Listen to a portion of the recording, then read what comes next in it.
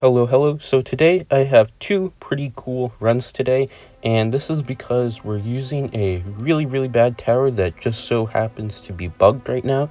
So it's actually kind of decent, and that's the uh, Carpet of Spikes. So if you've known before, if you've like ever used this thing before, you know it really isn't that good. The way it works and the way it's supposed to work don't really line up, and it just can't really synergy synergize with itself, which just means it's bad. But right now it's bugged so that if you just place this thing down, it has plus 5 Pierce, which doesn't sound like much for a lot of towers, but for spike factories, because there's like a really unique way that damage and Pierce works together, that's actually quite a lot of extra damage. So today I'm going to be doing two runs. One of them is pretty much almost optimal. Um, it ends with 72,000 cash spare, but you can do this with a quick optimization of 80,000. I just didn't really want to rerun these because there's so much like stupid micro in the mid game to uh, have like an optimal mid game. Um, and the second one was the first run that I did kind of testing out this bug, so it's not that good. So for this first run on geared, we just have Psy, the plasma accelerator, the downdraft. That's going to be going for the mid game to um, save up right into a carpet of spikes and it is a lot of plasma accelerator micro. You have to use like this spike storm at um, perfect time, or else you kind of just die.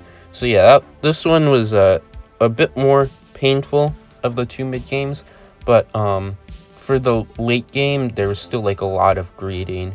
94 in particular was really hard, and then I messed things up kind of ish. I um, what I should have done is I should have uh, put more effort into 95 and also shifted the positioning back so I could have bought a what what I call it? Yes, a MOAB press to help out with 95 because you can't use a scream on round 95 unfortunately and that's kind of what I did because to me I just saw like there's no other way let's just hope that I'll get it back from 96 so I'll use it early and yeah I, I could not get it back it, I was just dead there. Um, so yeah, that was a bit unfortunate. I was forced to buy the press, which you kind of need on 98 anyways, so that really isn't much of a thing. But I was also forced to buy like a relentless glue. Couldn't really find anything cheaper, which is a big, big bummer because that thing's like $9,000. Um, so yeah, if you if you kind of like try to work around and make it a bit more optimal, you could do this one with $80,000 left over, but with um, but with $72,000 left over, I still think that's pretty good. Um, I think it's a good showcase for a video. The second one, uh, it definitely isn't, definitely wasn't um, done the best.